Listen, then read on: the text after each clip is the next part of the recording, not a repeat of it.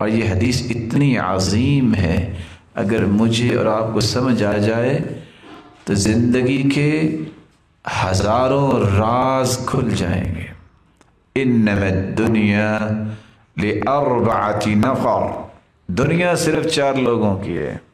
कौन से लोग? आबदिन रज़क़ल्लाहुमलन व इल्मन। एक उस बंदा को अल्लाह दुनिया देते हैं, एक के पास माल भी है और इल्म भी है। पहला इंसान जिसको अल्लाह ने माल भी दिया और इल्म भी दिया। माल जब मिला और इल्म जब मिला तो करता क्या है?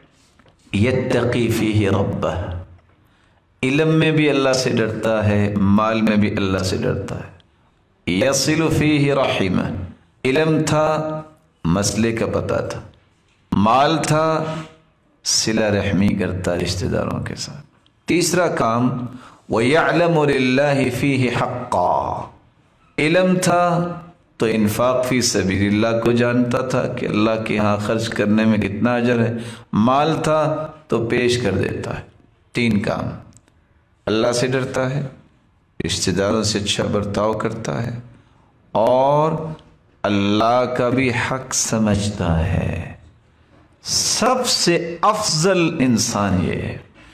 दूसरा इंसान जिसके बारे में अल्लाह के रसूल सल्लल्लाहु अलैहि वसल्लम ने फरमाया, जिसको अल्लाह ने इल्म दिया है, माल नहीं दिया। जब उसको माल नहीं दिया, नीयत उसकी बस सच्ची है। इस सच्ची नीयत के साथ वो क्या कहता है? अल्लाह, अगर मेरे पास माल हो तो मैं भी डरूं, मैं भी रिश्तेदारों के साथ अच्छा बर्ताव करूँ। मैं भी खर्च करूँ, क़यामत का दिन होगा। इस नीयत को अल्लाह इतना अच्छा समझते हैं। इलम वाला है ना? बस माल नहीं है। फ़जरुहुमा सवा।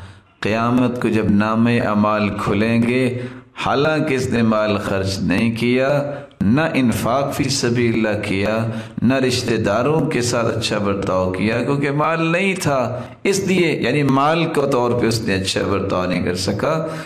क़यामत के दिन अजर दोनों को बराबर मिलेगा। तीसरा वो शख्स जिसके बारे में फरमाया दुनिया है, वो वो शख्स है। वाबदिन रज़क़ल्लाहुमालन वलम जिसको अल्लाह ने माल तो दिया है, इल्म नहीं दिया।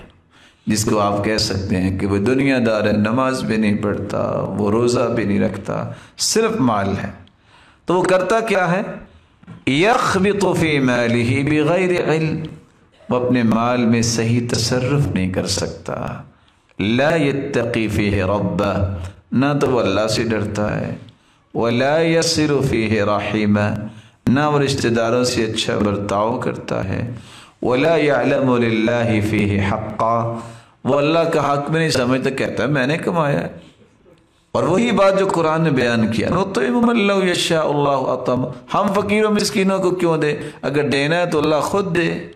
यही कहते थे वो लोग अनुतशाह अल्लाह ने खिलाना पिलाना होता तो खुद खिला पिला देते। हम क्यों दें? माल है, इल्म नहीं है। तो वहाँ हदीस ने क्या बयान कर दिया? मनाजिल सबसे खबीस जगह इसको नसीब होगी चौथा इंसान चौथा वो इंसान है न जिसके पास इल्म है न जिसके पास माल है इल्म से भी कंगाल और माल का भी कंगाल लेकिन वो नीयत करता है क्या नीयत करता है लव अन्नली मामिल तो फ़ी ही बेमली फुलान। अगर मेरे पास भी माल होता ना, मैं भी इसकी तरह शराबें पीता। मैं भी इसकी तरह ये ये गुनाह करता, नीयत करता है। क़यामत का दिन होगा फ़विज़्रमा सवा, दोनों का गुना बराबर होगा। इसलिए एक बहुत बड़ी हदीस है, अजीम हदीस है। आपके पास माल है अल्लाह से डरें। रिश्तेदारों से अच्छा बर्ताव करें। इन्फाक फ़ी सबील्ला को इख्तियार करें। नहीं है, नीयत कर लें। अजर बराबर का है। आपके पास माल नहीं है, इल्म नहीं है, कभी बुरी नीयत ना करें। ये नीयत और इरादे, ये बहुत बड़ी हकीकत है। जिस शख्स की नीयत में कोई खलल है, वो कभी अपने तखयलात की इमारत तामीर नहीं कर सकता। नीयत अगर अच्छी हो जाए तो इंसान की ज़िंदगी अच्छी हो जाती है।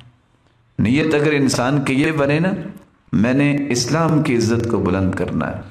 इस शख्स को अल्लाह वो इज़्ज़त देते हैं जो इसने कभी सोचा नहीं होता।